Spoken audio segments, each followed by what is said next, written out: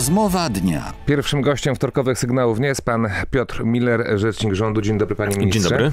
Panie ministrze, Donald Tusk mówi: Sprawdzam i chcę 800 plus już od czerwca, a nie tak jak wy od 1 stycznia. Dlaczego nie? Tylko jeszcze niedawno Donald Tusk mówił, że to wywoła jakąś inflację wielką, prawda? W sensie, że w ogóle te programy społeczne nasze wywołują inflację, a teraz chce coś od 1 czerwca. My w sposób odpowiedzialny proponujemy program od 1 e, stycznia, ponieważ wiemy, że zgodnie z prognozami inflacja powinna osiągnąć e, poziom jednoprocentowy. E, I to będzie bezpieczniejsze i z powodu inflacyjnych, ale również z powodu budżetowych, bo oczywiście to też kosztuje, no jakby dać w połowie roku kilkanaście miliardów złotych dodatkowo w budżecie państwa, a my wolimy mieć w tej chwili no pewien zapas na ryzyka, które pojawiają się w związku z wojną na terenie Ukrainy. Kolejna odpowiedź e, Donalda Tuska na wasze propozycje to 60 tysięcy kwoty wolnej od podatku. Co wy na to? To w ogóle mnie najbardziej chyba bawi, bo jeszcze niedawno, rok temu, Platforma Obywatelska głosowała przeciwko kwocie wolnej od podatku w wysokości 30 tysięcy. To znaczy głosowała przeciwko podniesieniu jej z kwoty 3091 do 30 tysięcy. Dzisiaj Donald Tusk składa propozycję 60 tysięcy, a gdy był premierem, podniósł tą kwotę wolną o 2 zł. W związku z tym, no, oczywiście może nawet Donald Tusk zaproponować 90 tysięcy kwoty wolnej, tylko no, jak ma się to do jego rzeczywistych intencji w przyszłości? No moim zdaniem nijak. E, my odpowiedzialnie obniżyliśmy podatki e, z poziomu 17, 18 do 17%, później do 12%. E, wiemy, że te decyzje trzeba podejmować w sposób rozsądny, dlatego żeby utrzymać równowagę finansów publicznych, również samorządów, samorządowych budżetów. Przecież no, głównie tutaj samorządowcy z Platformy Obywatelskiej byli przeciw tym obniżkom, co ostatnio były, bo twierdzili, że zabieramy im w ten sposób pieniądze. W związku z tym no, nie wiem, jak Donald Tusk teraz się odnosi do tych zarzutów. E, to kolejna propozycja wasza jeszcze, to autostrady bezpłatne. Kiedy i które? Przede wszystkim te, to jest proces y, kilkuetapowy, dlatego że tam, gdzie zarządcą jest Generalna Dyrekcja Dróg Krajowych i Autostrad, a to są dwa odcinki, y, odcinek A2 e, Stryków Konin i A4 Wrocław Sośnica, one będą od 1 lipca zgodnie z projektem ustawy bezpłatne, natomiast kolejne y, odcinki państwowe, ale zarządzane przez inne firmy e, w najbliższych miesiącach, a e, te, które są typowo prywatne, no to w przyszłym no ta roku autostrada A2 do, do Berlina. Dokładnie tak i widzimy widzimy, jakie tam są płatne. Nawet wczoraj ze swoim kolegą rozmawiałem i wspominał, jak, e, jaka różnica cenowa jest, prawda? I to jest coś, co trzeba rozwiązać e, no, bardziej systemowo i nie jest takie proste, ponieważ no, niestety decyzje z, z lat wcześniejszych powodują, że e, no, tutaj jest duża przewaga podmiotu prywatnego, ale do rozwiązania, tylko że nie w kilka miesięcy. Tu wywłaszczenie wchodzi w rachubę, jak mówił minister Buda? Ja mam nadzieję, że, że nie będzie taki, taki ruch potrzebny, że uda się dogadać z właścicielami tych podmiotów. Oczywiście każdy ruch jest możliwy możliwy w negocjacjach, trzeba podnosić różne warianty, ale liczę, że dojdzie do zgodnego tutaj porozumienia. To jeszcze jeden z zarzutów Donalda Tuska, czyli to, że stworzyliście tak warstwę tak zwanych królów e, życia. Czy w tym pojęciu jest zawarta pogarda, czy prawda? Panie redaktorze, no w taki sposób, jak definiuje to Donald Tusk, jest zawarta pogarda. Jeżeli kto, Donald Tusk w ogóle, to, jest ciekawy zabieg w ogóle taki o charakterze, y, mam wrażenie takiego rozdwojenia jaźni, bo z jednej strony Donald Tusk e, twierdzi, że właśnie są takie osoby i nazywa je no, w taki bardzo, y, delikatnie mówiąc, nieuprzejmy sposób, a z drugiej strony e, proponuje kolejne programy społeczne, znaczy kopiuje nasze propozycje i nie widzi w tym nic złego, uważa, że to jest wtedy dobre. Znaczy, więc niech się zdecyduje, prawda? Miałem też taką dyskusję ostatnio mm, właśnie na dworcu, e, też podszedł do mnie wyborca Donalda Tuska i tam zaczął mm, tak dosyć ekspresyjnie mówić o rozdawnictwie i tak dalej. Ja mówię, no ale mm, proszę pana, no pan głosuje na Donalda Tuska, jak sam powiedział, a Donald Tusk proponuje te, e, ten program od 1 czerwca. To panu tutaj się nie, nie łączy i wtedy, no, zanim mówił, nie wiedział w sumie co powiedzieć, no bo faktycznie jakby to, co mówi Donald Tusk po prostu w jednym zdaniu, e, w drugim się nie zgadza. No, więc nie wiem, jak wyborcy Platformy mogą nie doznać pomieszania zmysłów w tej sytuacji. TVN w każdym razie doznaje, bo w materiałach mają problem, czy chwalić 800 plus, czy nie chwalić. Zmieniamy temat. Napięcie na linii premier Morawiecki, minister Ziobro. O co tutaj chodzi? Bo to wygląda już na otwarty konflikt.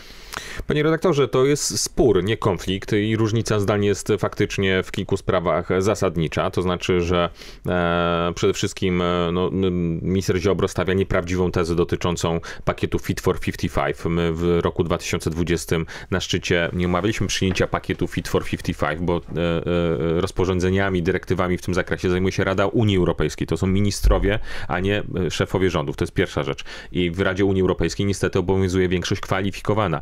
I Rada Rada Unii Europejskiej, czyli ministrowie, mogą przyjmować swoje rozporządzenia w tych wypadkach, w wielu przypadkach, kwalifikowaną większością głosów. I my tam nie mamy większości, głosujemy przeciw, ale te rozporządzenia przechodzą, bo Komisja Europejska ma prawo takiej inicjatywy ustawodawczej. I to jest problem e, w ogóle, no też dyskusji o tym, jak funkcjonuje Unia Europejska, bo oczywiście kwalifikowana większość głosów e, może przy, e, służyć przyjmowaniu aktów prawnych, ale to, co w tej chwili proponuje Komisja Europejska, to jest po prostu no, realizowanie interesów energetycznych krajów Europy Zachodniej bez poszanowania interesów krajów, które przechodziły, tra przechodzą transformację z innego punktu startowego. Pytania takie w takim razie. Czy reformę sądownictwa można było faktycznie zrobić lepiej? Panie redaktorze, ja myślę, że za dużo energii zostało, e, za dużo energii zostało poświęcone e, kilku ustawom, które mogły być również, jeżeli chodzi o szybkość postępowania, zamienione procesami o charakterze zarządczym w sądach.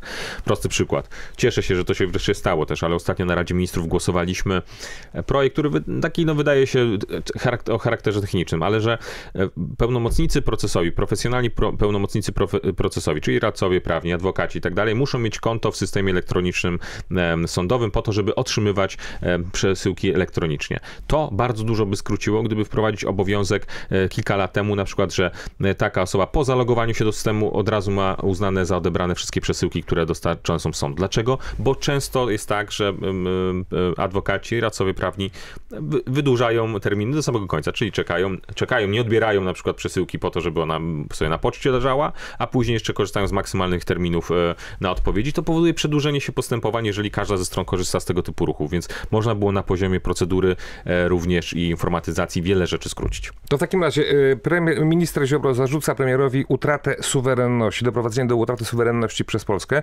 Z drugiej strony pan premier mówi o ministrze Ziobro, że krowa, która dużo ryczy, daje mało mleka. Zapytam wprost, czy pójdzie PiS razem z suwerenną Polską do wyboru w jednej koalicji? Taka jest nasza intencja, tylko no, do tanga trzeba dwojga. Jeżeli dwie strony są gotowe na takie porozumienie, porozumienie, to wtedy jest łatwiej i należy stawiać też realne oczekiwania, bo no jednak no, spójrzmy na sondaże. Ja wiem, że one nie są zawsze najważniejsze, no ale Solidarna Polska ma w nich 0,7%, 1%, prawda? No więc siłą rzeczy, jeżeli ktoś chce negocjować... Widziałem 1,3 jakieś... chyba. O, no to już taki poważny sondaż, że tak powiem, no ale no, nadal jest to jednak, przyzna pan, nie dosyć dużo.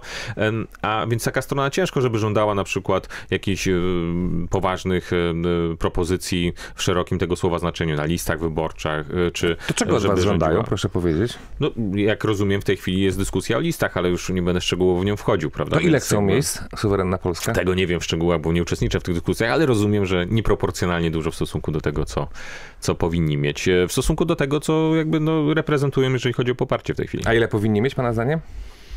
No, ja tu jestem zawsze zwolennikiem dużej reprezentacji członków Prawa i Sprawiedliwości na listach, więc siłą rzeczy zawsze czym więcej członków Prawa i Sprawiedliwości, tym lepiej. Dyplomatycznie odpowiada pan Piotr Miller, rzecznik rządu. Dobrze, jeszcze jedno kolejne pytanie. Część punktów programowych już znamy, 800+, plus, autostrady. Yy, co, czego się spodziewać dalej w, w, kolejne, w następnej kolejności? 60 sekund. No mamy w tej chwili program lekowy, to też będzie projekt ustawy, który chcemy procedować na najbliższych, w najbliższych najbliższych tygodniach e, podczas rządu, czyli zwiększenie dostępności bezpłatnych, li, listy bezpłatnych leków dla większej grupy osób. I to jest teraz e, ważny projekt, który chcemy też w tej kadencji jeszcze przyjąć na rządzie. E, drodzy Państwo, to jest rozmowa z panem Piotrem Millerem, rzecznikiem rządu. Część druga w internecie i w tej części zapytam o podwyżki dla budżetówki. Słuchajcie nas na stronie jedynki oraz w naszych mediach społecznościowych. No właśnie, panie rzeczniku, no mam mnóstwo maili, mnóstwo zapytań y, od naszych słuchaczy o podwyżki dla budżetówki. 800 plus fajnie, y, 13, 14 fajnie. A co z, z, budżetówką? W tym roku te podwyżki wynoszą 7,8%, jeżeli chodzi o sferę budżetową. Oczywiście nie jest to mm, może kwota, która by satysfakcjonowała mm, tych wszystkich, którzy pracują w sferze budżetowej, ale też pamiętajmy, że sektorowo te podwyżki e, w niektórych obszarach e, są zdecydowanie większe. Popatrzmy teraz z perspektywy kilku lat, prawda? Na przykład między 2016, dzisiaj sobie przygotowałem nawet tutaj, e, przygotowując się do pana materiały, między 2016 a 2022 na przykład w obszarze e, służby zdrowia, mówię tutaj o umowach o pracę, chociażby lekarz bez specjalizacji miał wzrost wynagrodzenia o 98%, tak? Pielęgniarki położne z tytułem magistra około 160% też były zmiany. Teraz. Ja rozumiem, bo, one, bo te osoby mają ciężką pracę i odpowiedzialną pracę, ale akurat w tym sektorze, jeżeli chodzi o podwyżki w służbie zdrowia, zrobiliśmy wiele, choć oczywiście zawsze każdy może oczekiwać więcej, nie ma nic z tym złego. Natomiast no też popatrzmy, że niektóre sektory jednak miały tutaj sytuację poprawioną. W szczególności mówię właśnie o służbie zdrowia, ale też tutaj pracujemy chociażby nad kwestiami podwyżek w DPS-ach, bo to jest jeden z postulatów Solidarności i międzyresortowy teraz rządowo-związkowy zespół teraz pracuje nad finalizacją ustaleń podwyżek też w tym obszarze. Zmieniamy temat. KPO. No wszystko wskazuje na to, że konflikt w Trybunale Konstytucyjnym nie będzie rozwiązany. Ustawa o Sądzie Najwyższym nie będzie. KPO nie będzie? Nie, ja tutaj nie jestem taki pesymistą. Czekam na rozstrzygnięcie Trybunału Konstytucyjnego, e, bo teraz jesteśmy niestety w takim obszarze zawieszenia. E, nie wiemy, czy ustawa jest konstytucyjna, czy niekonstytucyjna, musi to orzec Trybunał. Liczę na to, że też ta grupa sędziów, którzy nie wiem z jakiegoś powodu e, przestali chcieć wykonywać swoje obowiązki, jednak no, nie uznają tego, że pani prezes Przyłębska dalej sprawuje swoją ale kadencję mam nadzieję, że uznają, że są sędziami, a obowiązkiem sędziego jest udział w postępowaniach, które toczą się przed Trybunałem Konstytucyjnym. Tak jak pana obowiązkiem jest prowadzenie programów, a moim uczestniczenie w tych programach, tak samo obowiązkiem sędziego Trybunału Konstytucyjnego jest udział w postępowaniach, które są toczone przed Trybunałem, więc może tam dojdzie do jakiegoś, jakiejś głębszej refleksji mimo wszystko. Natomiast odchodząc od tego, no, czekamy na, na rozstrzygnięcie i po tym rozstrzygnięciu będziemy decydować co dalej. Jeżeli ustawa okaże się konstytucyjna, to myślę, że będziemy już na dobrej drodze, aby jednak ten spór z Unią Europejską e, załagodzić. Czy postępowanie sędziów, e, tych, którzy nie chcą uznać pani prezes Przyłębskiej jako prezes, ma charakter polityczny? Nie wiem czy polityczny, natomiast jest po prostu działaniem, które nie, nie spełnia wymogów ustawowych. Po prostu jest łamaniem ustawy o Trybunale Konstytucyjnym, bo obowiązkiem sędziego jest brać udział w postępowaniu. Jakieś konsekwencje można wyciągnąć? No niestety, tak jak pan wie, w postępowaniach dyscyplinarnych wobec sędziów y, to jest chyba największe wyzwanie, nie tylko w Trybunale Konstytucyjnym, bo oczywiście tam jest też procedura, ale bardzo skomplikowana. I tak samo w sądach powszechnych. Mamy wielu sędziów, którzy na przykład rozpatrują sprawy wolno y, i właściwie niestety postępowania dyscyplinarne tutaj są bardzo bardzo trudne do zrealizowania i to jest jedno z wyzwań, jedno z wyzwań na pewno na przyszłą kadencję. I na koniec, 50, e, Fit for 55, czyli bardzo szkodliwy pakiet różnego rodzaju zaleceń e, ekologicznych i likwidujących na przykład e, de facto węgiel w Europie. Czy jesteśmy w stanie zbudować koalicję państw przeciwnych temu projektowi? Niestety to jest niezwykle trudne, ponieważ Polska jest jednym z nielicznych krajów Unii Europejskiej, która zupełnie z innego poziomu startuje, jeżeli chodzi o transformację energetyczną i dlatego ta dyskusja jest taka trudna. My sprzeciwiamy się tym rozwiązaniom na poziomie Rady Unii Europejskiej, Europejskiej, ale tam jest większość kwalifikowana i w związku z tym nie mamy prawa weta e, w, większości przypadków. A tam, gdzie oczywiście będzie mogło być użyte, to będziemy e, to robić. Natomiast tych pakietów jeszcze w tej chwili, tych części pakietów nie ma. Pakiet Fit, Fit for 55 to jest w ogóle kilkanaście rozporządzeń różnego rodzaju.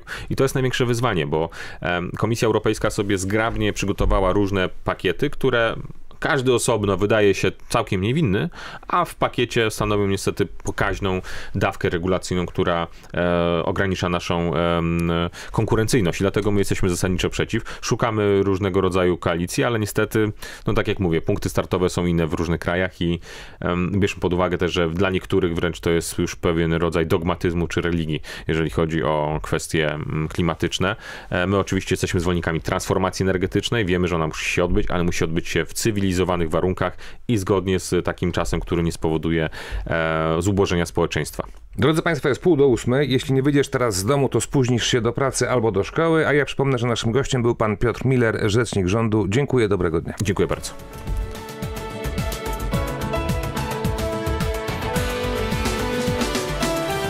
Była to rozmowa dnia. Udostępnij ją portal informacyjny polskieradio.pl.